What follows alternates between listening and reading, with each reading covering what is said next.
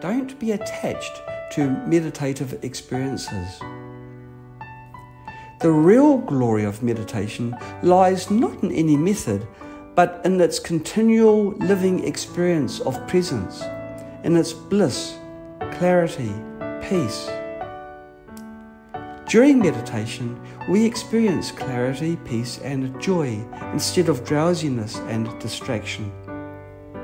And, most important of all, complete absence of grasping.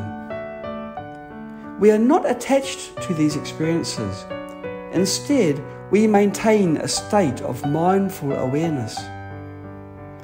Even though you experience clarity, you are not immersed in clarity. Even though you experience peace, you are not immersed in peace either. Instead, you stay mindful. The diminishing of grasping in yourself is a sign that you are becoming freer of yourself.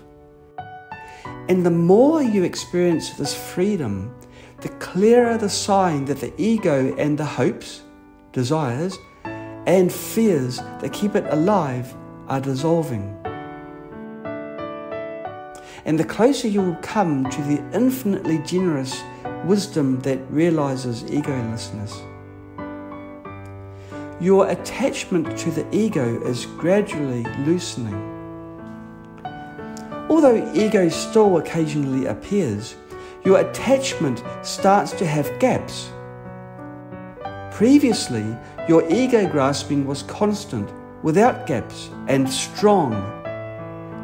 Now, although your ego grasping is still there, it is no longer constant, but rather has gaps in between although your ego grasping is still there, it's not as strong and insurmountable as before.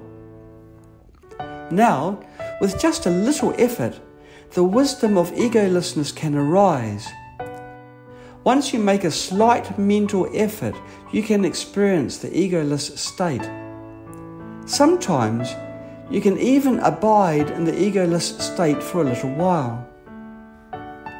However, the ego grasping will re emerge, and then you can meditate again. Gradually, you'll come to the infinitely generous wisdom that realizes egolessness.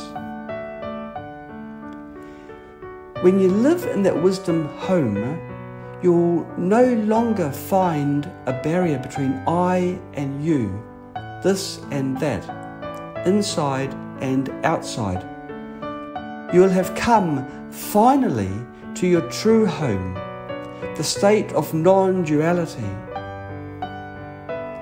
When you are in an egoless state, your mind has no sense of opposition toward all external phenomena and the five aggregates, including the five aggregates of other sentient beings.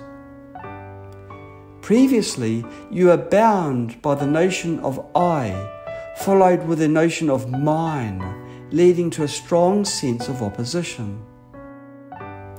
Now that you are egoless, the notions of I and mine are gone. Thus, the opposition is gone. Non opposition is non duality. Duality means opposition, inside and outside, you and me, this and that we are strongly attached to the notions of you and I.